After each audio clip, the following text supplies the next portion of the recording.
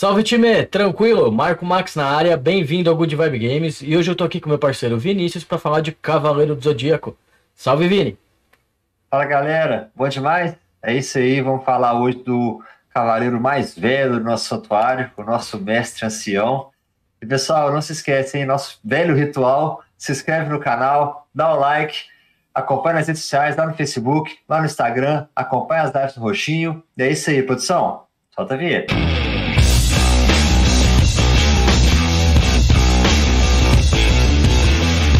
É isso daí, time. Chegou a hora da gente falar dele, do mestre do Shiryu aí, nosso querido mestre ancião, o terror dos cinco picos. E vamos começar aqui, como sempre, gente, falando aqui sobre os status do personagem. Aí você deixa comigo então, Marquinhos. Vamos começar falando aqui dos atributos básicos dele.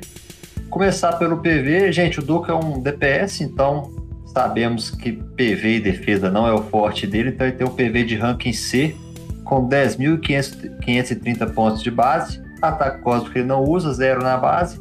Defesa cósmica também ranking C de 364 pontos de base. Ataque físico, aí sim é o ponto, o ponto forte dele. 2.893 de ataque base. Na defesa física ele tem 477 pontos. E na velocidade também é um pouco lento. Um, 181 pontos de velocidade de base. É, isso influencia muito na mecânica dele. A gente vai explicar o golpe, na verdade, agora. Então vocês vão ver que a velocidade faz diferença ele ser um pouquinho mais lento.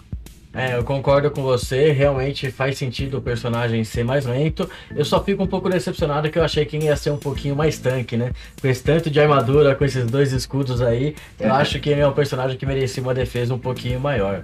Mas como o Vini já adiantou, vamos falar um pouquinho agora dos golpes dele, Vini. Então, gente, antes de a gente falar das habilidades em si do Doku, vamos explicar um pouquinho da mecânica dele. O Doku é daquele personagem que vem com, com mecânica de stack. No caso dele, ele acumula o espírito do tigre.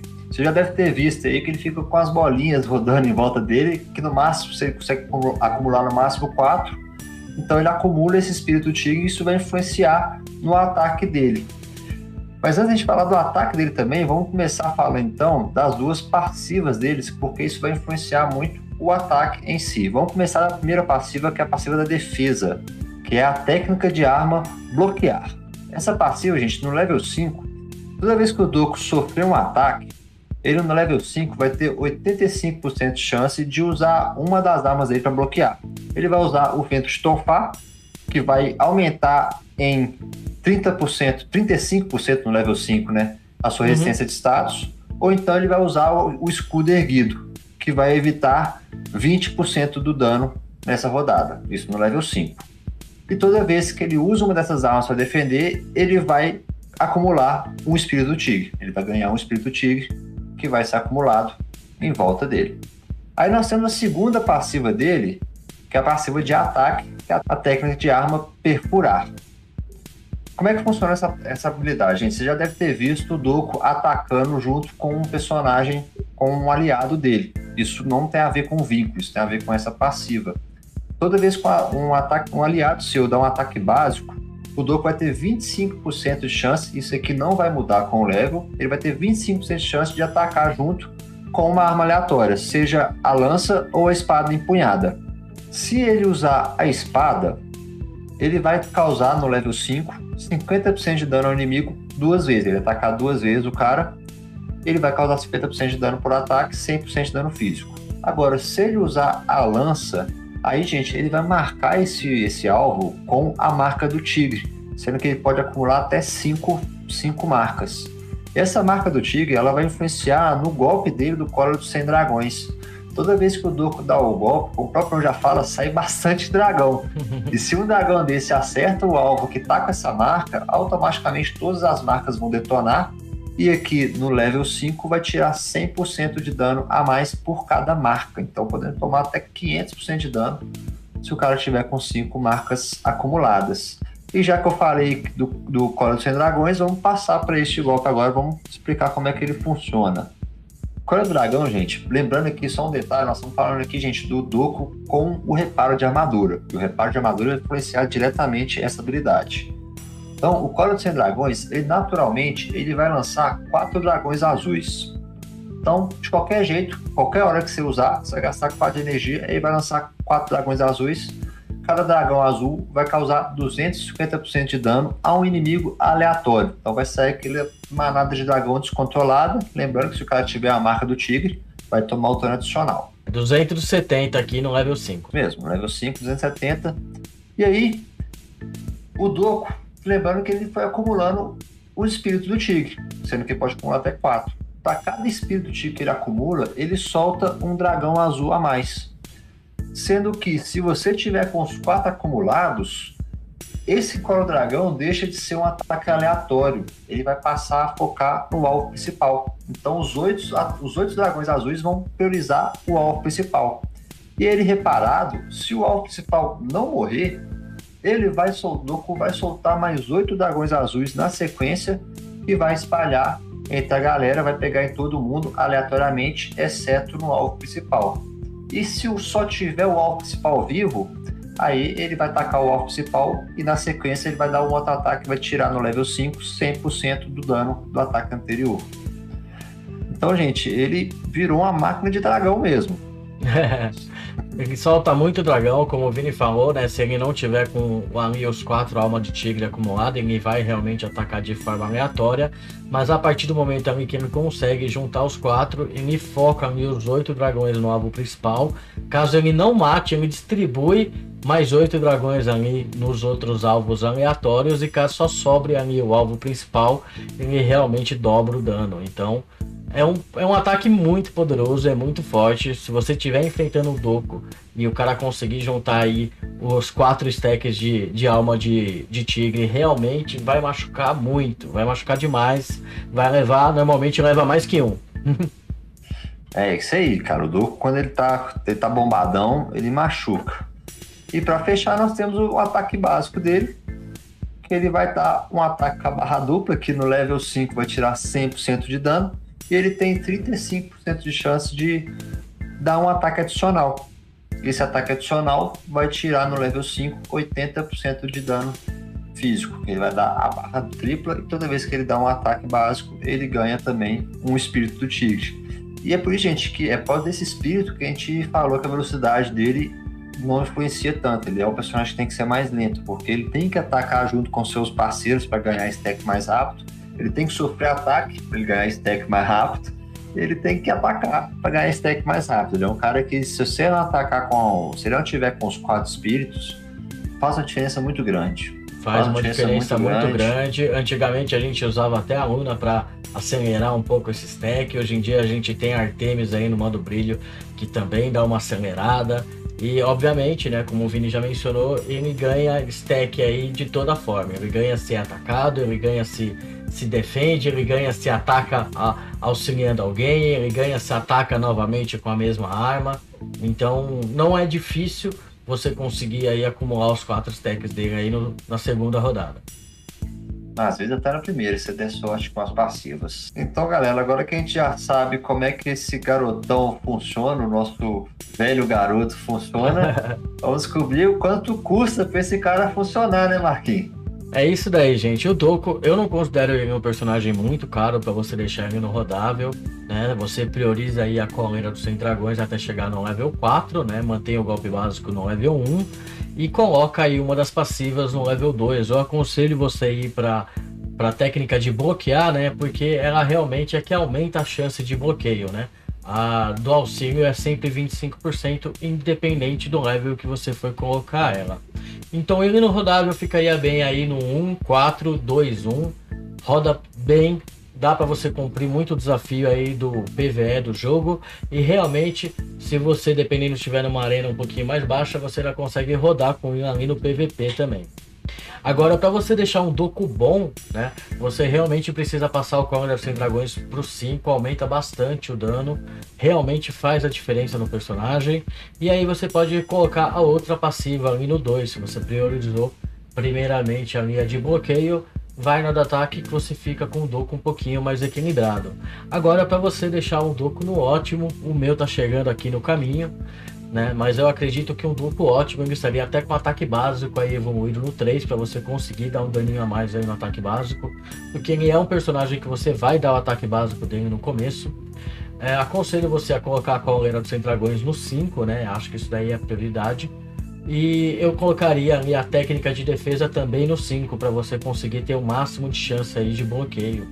E deixaria ali a técnica de ataque ali colocaria no 4 que você também teria uma supressão um pouquinho maior com o personagem. Vamos aqui para o nosso próximo tópico, oitavo sentido. Gente, se você usa o personagem, mantenha tudo no 6. Já passou já do tempo da gente deixar isso daqui sem fazer. Hoje em dia a gente tem masmorras no automático, você tem realmente que passar aqueles estágios lá para conseguir tirar o melhor proveito do seu vigor e farmar esse material, mas vale muito a pena colocar isso daqui no 6 porque muda o personagem.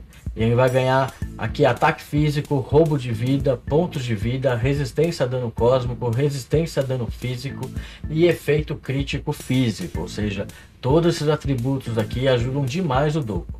E agora, Vini, com quem que o nosso mestre ancião aí tem vínculo, né? Deve ser com muita gente. O rapaz viveu muito, homem caminhado. Tem muita história para contar. Muita Ele começa aqui com o vínculo com o seu discípulo, o nosso Shiryu na sua versão stripper, sem camisa. Vai ganhar aqui o ataque físico. Ele depois tem o vínculo com Hades, Atena e Xion, aqueles que ficaram.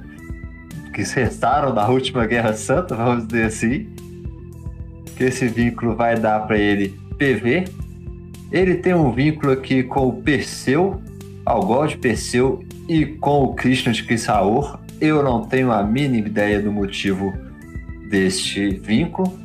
É, tudo que eu posso dizer é que um usa lança, o outro usa escudo, o Doku usa os dois. É tipo isso. Porque esse vínculo vai dar ataque físico. E por fim, ele tem um vínculo aqui com o Xion, o Camus e o Shiryu de armadura. Esse vínculo também não, não entendi muito o sentido dele não, mas vamos que vamos. Vai dar PV. Seguir o nosso roteiro aqui, Marquinhos, vamos falar agora do Cosmo dele. Qual que é o set de Cosmo que você recomenda para esse nosso mestre ancião? Vamos lá, gente. O meu Cosmo do, do Doku aqui não tá 100% atualizado, então eu tô com pedra física aqui no solar. Mas eu já vi muita gente usando lança-chamas, eu também usei por um tempo, fica legal. E chegou, né, o Cosmo novo aqui, que é o Galho. Hoje em dia é o queridinho do pessoal de ataque físico. Ele funciona demais. Eu não fiz alguns testes ainda com o Memphis, mas eu acredito que dessas opções aqui, o Galho é a melhor opção. É que realmente, né, como ainda é um Cosmo que a gente só consegue em loja, eu acabei deixando meus galhos aqui priorizando outros personagens. A o gente... próprio Vibra aí também pode ser que funcione nele, né, Marquinhos? O próprio Vibra pode ser que funcione se você tiver alguns Vibras bem upados, se você estiver precisando fazer algum ajuste de velocidade, funciona demais também no personagem. Aqui no Lunar, né, eu escolhi ter na cidade. Eu sempre escolho o Cosmo aqui, o Lunar, baseado no subatributo de velocidade. Aconselho você fazer o mesmo. É o melhor jeito aqui de você conseguir balancear bem a sua equipe e conseguir montar a estratégia no jogo de velocidade é através aqui do Cosmo Lunar. Então eu acabei optando aqui pelo Tenacidade, mas o Cruz funciona muito bem no personagem. Se você precisar fazer um ajuste de velocidade aqui, você também tem o Runa do Destino, que também funciona para o personagem. A gente tem aqui a Ressonância Sagrada, um outro Cosmo que chegou aqui mais focado em defesa cósmica, que também pode funcionar muito bem aí para o Doku. E na parte aqui do Estrela, eu optei aqui pelo Pérola Naga, né, pra gente conseguir se aproveitar aqui um pouquinho dessa perfuração de defesa física. Para mim ajuda bastante, sem contar que é um conjunto que dá pontos de vida e resistência a dano físico. Isso daí também ajuda demais o Doku. Mas é claro que você também pode optar aqui pelo Cristal de Fogo, que a gente também sabe que é um excelente Cosmo para quem aí ataca com ataque físico. E de Cosmo Lendário, Marquinhos, como é que tá aí? Cara, de Cosmo lendário aqui eu optei pelo Narciso. Eu acho que eu uso esse, doco, esse Cosmo aqui no, no Doco desde que ele veio, porque realmente ajuda bastante, aumenta o ataque físico para cada ponto de vida perdido. Mas você também pode colocar o corrente de Hefesto, que é outro Cosmo aqui, funciona muito bem pro Doku. A gente sabe hoje em dia que o Doku tem um ataque pesado e aumentar em 40% desse ataque não seria uma ideia ruim. Então tá aí um outro Cosmo que eu recomendo demais.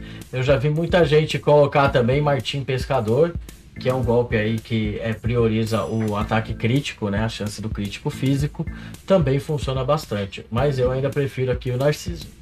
Eu já usei, né, porque eu usava o Doku, o Felina, porque o Doku não costuma dar K em sequência, ele sempre costuma ter um ataque, uma rodada de ataque básico. Então Felina também costuma funcionar bem com ele. É isso daí, Vini. E agora vamos dar uma olhadinha aqui no pavilhão, aonde que o menino se encontra. Então, Marquinhos, aqui no Templo dos Cavaleiros, o nosso Templo das Flores, ele está aqui na Alma Bestial, junto com o Sorento, Mayuri de Pavão, Zack de Kraken, Misty, Yodzilla e o nosso Moses de Baleia. A galerinha bem abaixo da expectativa do Doco, né? é, bem abaixo, gente. E como a gente sempre lembra, trabalho aí nesse pavilhão das flores, nesse tempo das flores, é um trabalho de evolução constante. Então, foque nas estrelas, né? Porque as flores nem sempre são fáceis de conseguir, principalmente se for free to play como a gente. Então, foque aí o máximo possível nas estrelas para tirar o melhor proveito do bônus do pavilhão. E o nosso querido Doco ainda não foi incluído ali na vontade estelar. Esperamos que ele seja incluído ali em breve mas infelizmente ele ainda não está ali nem no tempo do pavilhão físico, nem no tempo da proteção. A gente deu uma procurada, mas já está na hora também do pessoal incluir aí algum novo personagem nesse pavilhão. Eu acredito aí que o Doku possa ser o próximo. E gente, consideração finais aí sobre o personagem. Vou começar aqui dessa vez. Eu já vou adiantar que eu gosto muito do Doku, tanto no anime quanto aqui no jogo. É bem divertido jogar com ele. Eu ainda gosto de jogar com ele no, no PVP. Eu tenho uma comp com ele ali do meu, com ele ao lado do Shiryu Divino, que funciona bem demais. Ainda mais ali junto com o Schwades para poder adiantar também os stacks de alma de tigre. E, meu, pra mim ele é um excelente personagem. O golpe dele machuca muito. Se o cara não tomar cuidado, você vai levar a equipe dele inteira. Sem contar, né, que ele funciona muito bem ali em alguma das outras arenas. Tanto no Duelo Eterno como na Torre do, do Relógio. Ele também ali consegue ser bem utilizado. E no PVE, ele também consegue fazer ali, cumprir o papel dele de um DPS diário, né, Vini? Sim, ele consegue cumprir esse papel sim, cara. Eu também gosto bastante dele, é um personagem relativamente barato, fica mais barato ainda porque você é um personagem que vem bastante pop e você consegue pegar o volume de habilidade no mercado Arena de Honra. E é uma mecânica divertida, esse fato de atacar com, com o seu aliado, ele com, com Artemis, ele, ele ataca bastante, se você estiver usando Artemis no modo brilho. E, cara, é um personagem legal, um personagem que vai te ajudar bastante, principalmente no início da sua conta, tanto no PVE quanto no PVP. Vale a pena você ter ele, vale a pena você ter ele reparado. E, cara, eu acho que é isso, né, Marquinhos? Eu acho que é isso daí, gente. Outra coisa que vale a pena vocês fazerem demais é se inscrever aqui no canal, dar um like pra gente aqui no vídeo, porque isso ajuda demais. Sigam a gente aí nas redes sociais, no Facebook, no Instagram. A gente já tá fazendo algumas lives no Roxinho. E eu acho que a gente vai ficando por aqui, né, Vini? É isso aí, galera. Só não resta dar tchau. Aquele abraço. Valeu, Marquinhos. Valeu, galera. Até a próxima. Valeu, Vini. Até mais, time.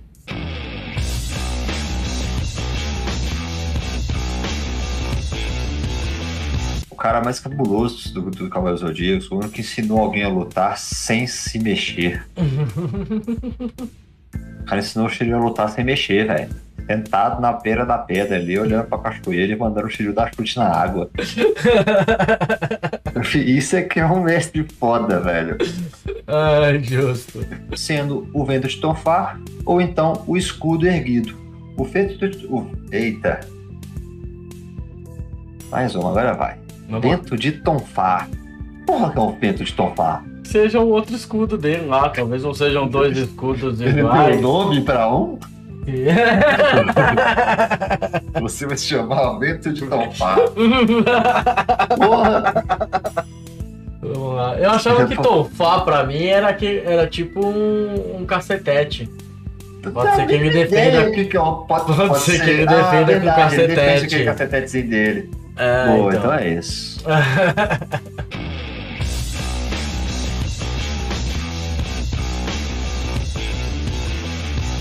Man.